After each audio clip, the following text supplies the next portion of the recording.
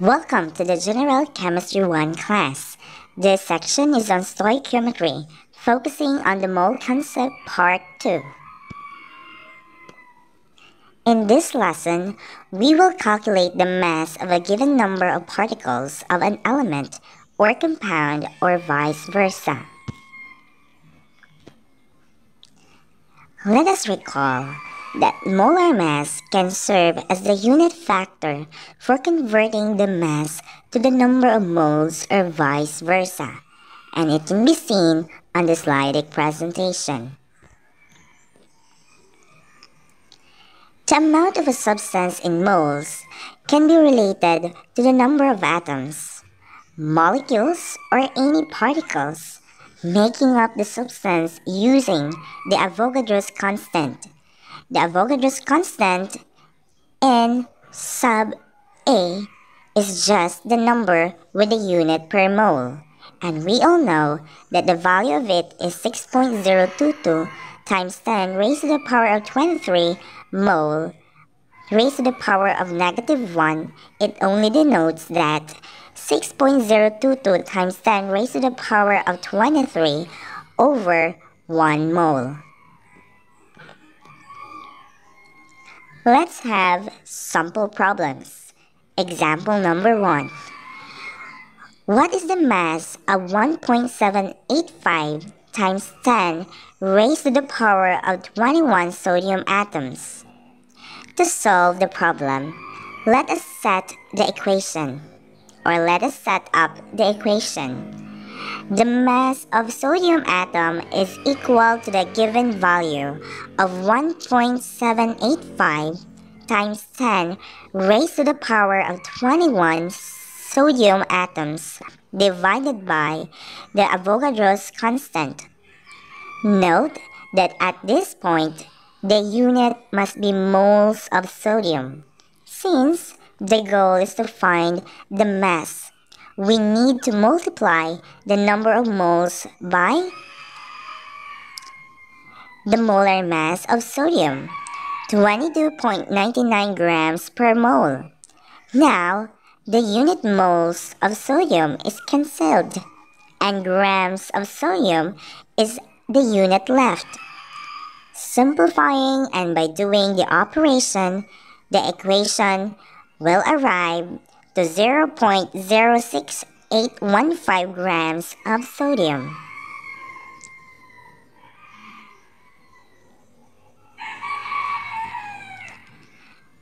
For example number 2, what is the mass of 7.645 times 10 raised to the power of 22 calcium bromide formula units?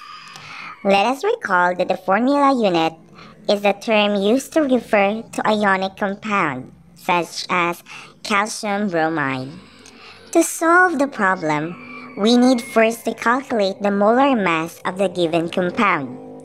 Calcium chloride consists of one calcium and two bromide atoms, or two bromine atoms, whose molar masses are 40.08 grams per mole and 79.90 grams per mole respectively. The molar mass then is equal to 1 times 40.08 grams per mole plus 2 times 79.90 grams per mole. Given a value of 199.88 grams per mole. Step number two.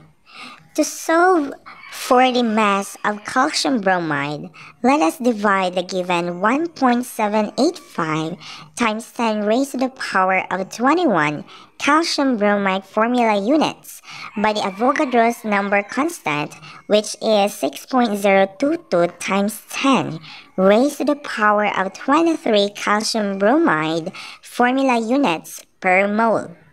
Again, 1 mole of calcium bromide must be at the numerator and 6.022 times 10 raised to the power of 23 calcium bromide formula units. To change the unit of the given quantity to moles, from here we need to convert the mass of calcium bromide by multiplying the molar mass of 199.88 grams per mole. In this unit factor, 1 mole calcium bromide is at the denominator while 199.88 grams is at the numerator to cancel the given or the unit moles of calcium bromide. By simplifying, by simplifying and doing the operation, we can obtain 0.5925 grams of calcium bromide.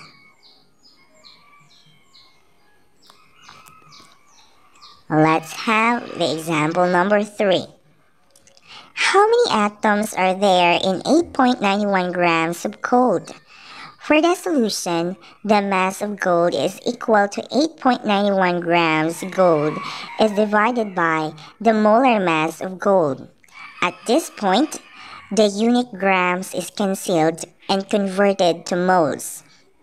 To convert the number of moles to the number of atoms, we need to include another unit, the Avogadro's constant, which is 6.022 times 10 raised to the power of 23 gold atoms per mole of gold.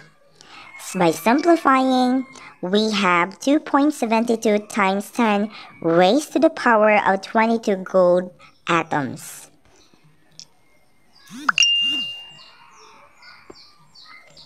Now, let's have example number 4. How many moles are there in 0.35 grams of butane?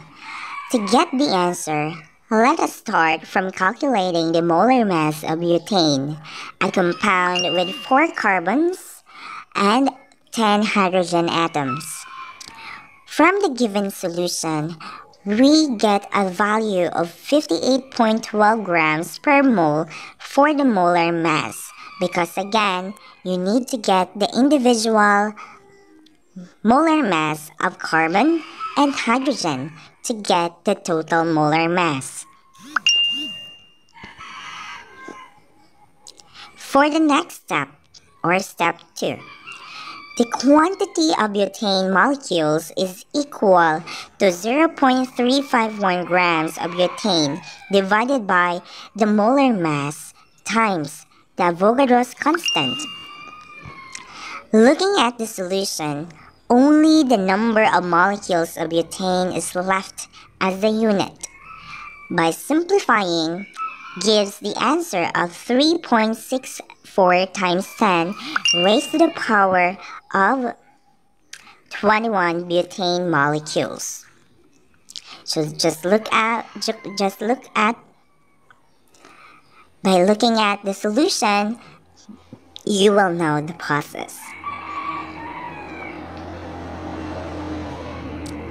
From the examples given to you, we can extend the previous diagram into this diagram, which is a helpful tool in conversions that involve the amount of substances. Note that mole as a measure of amount of substance links the quantity of particles and mass of substance.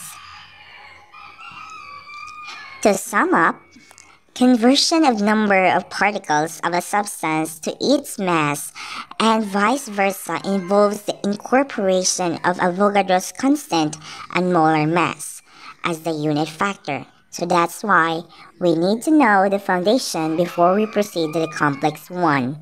One must be cautious in doing the unit factor method in order to properly conceal the units and correctly perform the conversions. And we have now the references for further readings and thank you for listening.